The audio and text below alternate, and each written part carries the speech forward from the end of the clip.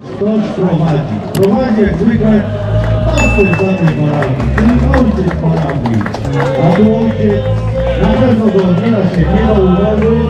Ksiądz Wity Dziekan. Ksiądz, przeczytaj młody, jak się nazywa?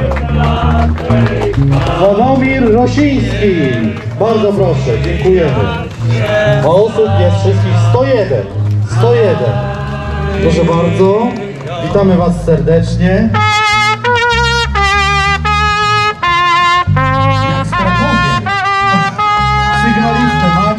Dobrze. Proszę bardzo, jakby się ktoś zgubił, to po sygnale trąbki szukać. Proszę uprzejmie. Oczywiście. Dużo ludzi zebraliście, tak? Jak się wam szło? Bardzo dobrze, super? Nikt nie zemdlał? A co to za impreza? Dobrze, ważne, że tu odzyskacie siły przy Matce Bożej, tak?